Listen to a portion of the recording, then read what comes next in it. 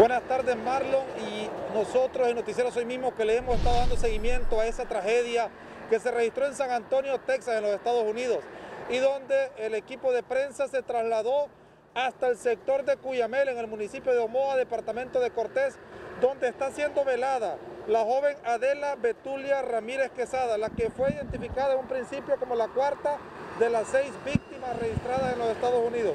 Cabe destacar que familiares y amigos han llegado para darle prácticamente a ella el último adiós.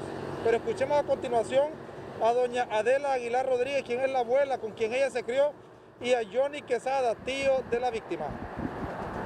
Claro, es doloroso. Son cosas que no se las espera uno.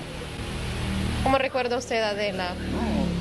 Una muchacha alegre, bien servicial ella. Pues.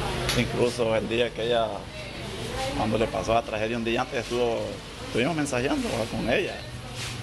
Porque yo siempre bromeaba con ella, y ella me decía, tío, bromeábamos pues con ella, una mujer, una muchacha bien alegre. Quisiera morirme. No, Sí. no diga eso. No, quisiera morirme yo porque uno de sus hijos son sus hijos. Mamá, no diga eso. Los hijos duelen.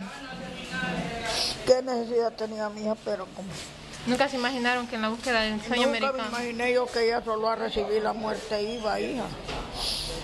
¿Qué más quería aquí, hija? ¿Ah?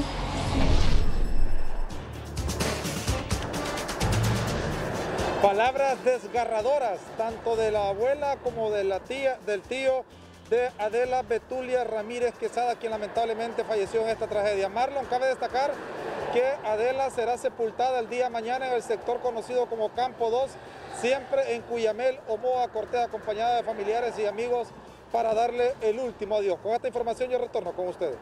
Doloroso realmente.